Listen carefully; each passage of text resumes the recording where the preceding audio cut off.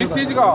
क्या पीएम दोबारा कराने का सर? पीएम दोबारा तो होगा लेकिन कहाँ पैनल के साथ में होगा। कहाँ होगा? बहराइच में? पैनल आ गया है बहराइच में लखनऊ का पूरा पैनल आ रहा है सारे एक्सपर्ट डॉक्टर वहाँ पे परिजनों ने क्या बताया आपको? क्या चीज़ शेयर किया? है जी? परिजनों ने मृतक के परिजनों ने क्या शेयर किया? क्या बातें बताई आपको? नहीं मृतक के परिवार का ज़्यादा वो नहीं अब है। अब ये किसान संगठन का मैटर है इसमें। और जो लोग गए थे जिन लोगों ने कल बताया था कि इसको गोली हमारे सामने मारी है।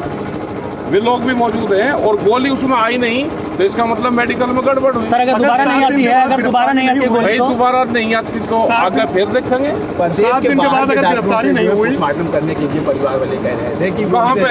नहीं अगर आज भी कह रहे हो आप भी कह रहे हो तो जहाँ परिवार वाले लोग चाहेंगे वहाँ होगा। सात दिन के बाद अगर गिरफ्तारी नहीं हुई मंत्री तो क्या होगा हम जब यहाँ पे भोग रसम पकड़ी होती है उस पर हम निर्णय लेंगे अगले आंदोलन की।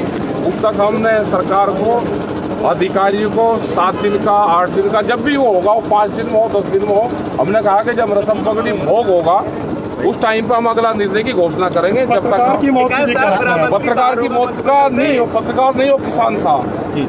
पत्रकारिता वो एक वो व्यवसाय करता था उसकी आंदोलन में डेथ हुई है और कुचल कर डेथ उसकी हुई है।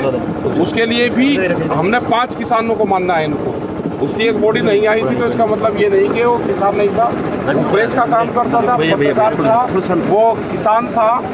उसको भी 45 लाख रुपए मुआवजे की हमने डिमांड करी है सरकार से। ये उन लोगों की गिरफ्तारी की मांग की है गिरफ्तारी तो जो जो इसमें उसका लड़का बताएगा मेरे गैंग में कौन कौन है? सर आ, सर होम मिनिस्टर का गृह मंत्री का बेटा बताएगा कि उसके गैंग में कौन कौन लोग शामिल है। ठीक है साहब कह रहे हैं मंत्री कि अगर मेरा कोई वीडियो आ गया तो मैं इस्तीफा दे दूँगा अगर मेरे इस्तीफा तो वो देगा।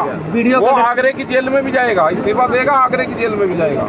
वो नेपाल में कैसे व्यापार करते हैं? नेपाल में यहाँ के लोग बताते हैं उसके बारे में गाँव के लोग कि पहले लकड़ी चोर माफिया रहा ये खैर की और चंदन की चोरी करता था।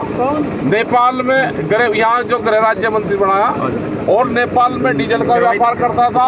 खाद यहाँ से सस्ता था। नेपाल में महँगा था। यूरिया खाद की सप्लाई करता था वहाँ बेचता था डीएपी बेचता था और अवैध धंधों में वो था। ये यहाँ के लोगों ने बताया। तो सर अभी इससे यहाँ क्या निर्णय लेने जा रहे हैं? गिरफ्तारी होनी चाहिए मंत्रिमंडल से बाहर सारे मंत्रिमंडल से बाहर भी होगा गिरफ्तारी भी होगी।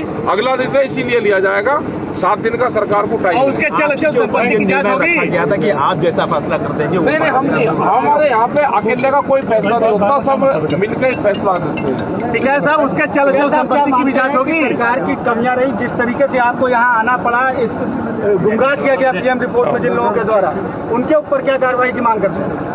अभी दूसरी रिपोर्ट आ जाए क्या उसमें है अभी?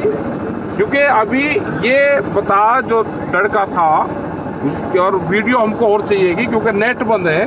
वीडियो सामने बहुत आएगी अभी। अलग अलग तरह की वीडियो आएँगी। सर अभी आपने बात कही है कि अगर यहीं के लोग अगर एक मिनट अगर एक्सपर्ट यहीं के होंगे तो फिर तो वही बात आएगी वही आरोप लगेगा। आरोप तो हमने दिल्ली में कहा था सबसे पहला बयान था कि दिल्ली एम्स में करवावे। तो बहुत लोगों की सलाह बनी कि एम्स उन्हीं के उसमें आता है।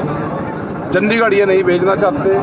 दूसरे उसमें तो एक विवाद तो बनेगा तो फिर डॉक्टर जो पीजीआई उसके जो डॉक्टर है एक्सपर्ट डॉक्टर वे आए हैं सारे। मंत्री के बाद बयान है मेरा बेटा हाँ बयान देगा ही भाई जब यहाँ तीन सौ दो का मुलजिम है तो मुलजिम तो भाई मुलजिम तो सजा के वन तक जाता हो या कोई ये कहे कि मैंने कत्ल करा? कोर्ट में एविडेंस होने के बावजूद भी कोर्ट के सामने कोर्ट को गुमराह करता रहे। जी मुझे झूठा बताया अभी तो गिरफ़्तार नहीं किया जा रहा हूँ बयान दे रहे हैं। जगह जगह अपना बयान मंत्री बाहर अभी तो स्पष्टीकरण दे दो भाई एक आध दिन का तो उसे भी मौका था अपनी। बात कहने का और तो कोई नहीं। सरकार तो नहीं दे रही उसके पक्ष में। ठीक है, साहब, ना कोई अधिकारी दे रहे। सबसे पहले उसने अधिकारियों पे गाड़ी चढ़ाने की कोशिश करी। वे अधिकारी मौजूद थे लेकिन वे बताएँगे नहीं। सर मामला ये भी है कि बता रहे हैं कि अगर जिन प्रदेशों में भाजपा की सरकार नहीं वहाँ पर पोस्टमार्टम हो तो उसकी जो है सत्यता सामने आ जाएगी। इस पर क्या कहेंगे? अरे वहाँ ये नहीं भेजिए। थैंक यू ठीक है साहब विवाद में उसमें क्यों पड़े? ठीक है साहब आगे इस नहीं मंत्री के चल चल संपत्ति की जाँच कराएँगे। मैं पता नहीं है तो सरकार का काम है जाँच करवाने का लेकिन खैर चोर था। चंदन की लकड़ी चोराई। चंदन आग आ रहे थे अपने आप काटता था। तो डीजल डीजल का व्यापार करा तीन पेट्रोल पंप बताए गए उसके। अवैध डीजल का व्यापार करता है खाद और वो बेचता ही है ये गाँव से जानकारी लेना। पेट्रोल पंप कहाँ है उसके पेट्रोल पंप कहाँ है है क्या ये? भाई पता नहीं हम नहीं कहते हम तो दिग्गज से कल से जानते नहीं हम तो कभी मिले नहीं। लेकिन जो